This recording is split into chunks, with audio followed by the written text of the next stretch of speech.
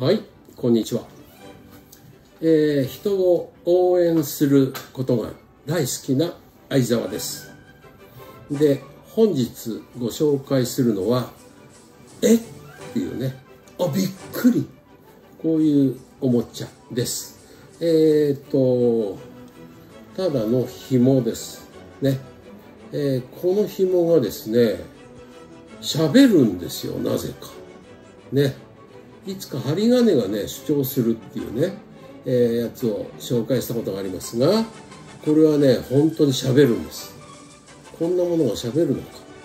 喋るんですね。ということで、えー今から、えー皆さんを応援したいと思います。では、後ほど。はい。今から私が、えー皆さんを応援したいと思います。ね。えー励ましたいと、こういう思いで、えーまず最初に何かに頑張ってる人。ね。えー勉強でもいいし、仕事でもいいし、えー趣味でもいいけれども、なんか頑張ってますっていう人をね、この人を応援したいと思います。はい。ここに、えー紙コップ。で、ここに、えーはい、さっきお見せした、はい、こんなテープがありますね。このテープを、はい、親指の爪でちょっと軽くこうして、はい、行きます。はい、なんか頑張ってる人に、行きます頑張った。聞こえました？頑張ってってこのテープが言うんですよ。ゆっくりだと、こんな感じだよね。あ、なんか今女の子に励まされたような感じになりましたか？ね。はい。では、えー、何かを成し遂げました。賞を取りましたとか、ね。いいことあった。こういう人に対して、はい。じゃあ次は、えーこんな感じでいきますよ。はい、いきます。聞こえましたか？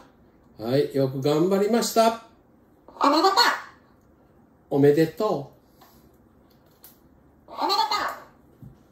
はい、おめでとう。はい、このテープなんでこんな喋るのってね。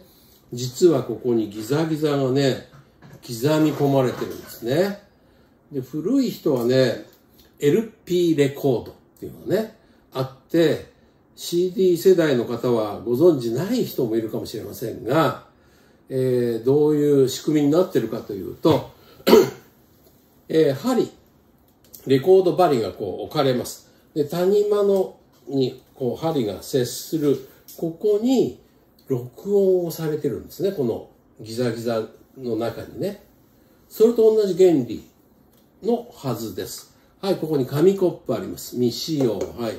ここにもう一本テープがありますので、実際に作るところをやってみましょうかね。はい、ここに真ん真ん中くらいに、えー、こういう穴を開けますね。今開けましたよ。ね。そしたら、はい。これ今ちょ、先っぽちょっと折って、ね。で、えこれを刺します。はい、刺したら、裏が、側はここのようになってますね。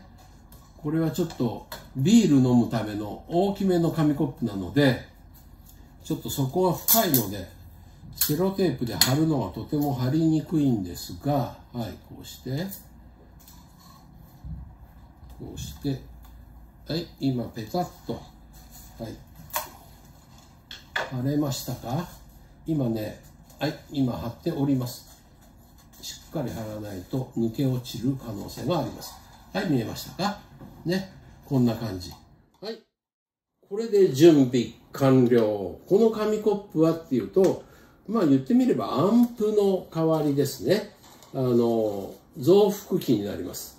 ここで出される音。ね。えーの増幅器。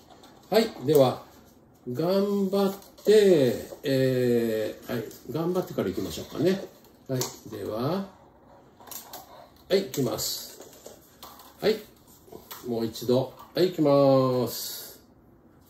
はい、頑張っ、ははい、ここからですね。いきます。あ、ちょっと小さいですね、音が。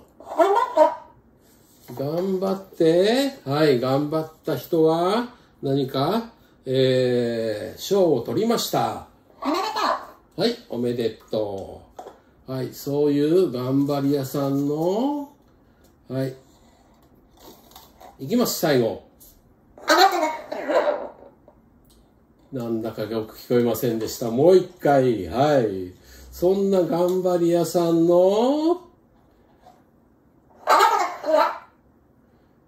聞こえたかな？もう一回行きましょうかね。はい。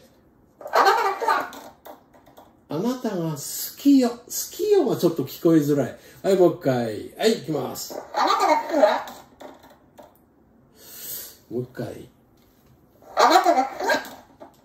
ダメか。あなたが好きよ。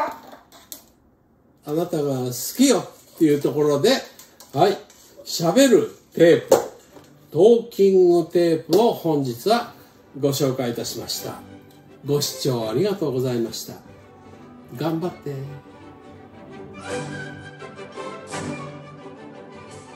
よろしかったらチャンネル登録をお願いいたします。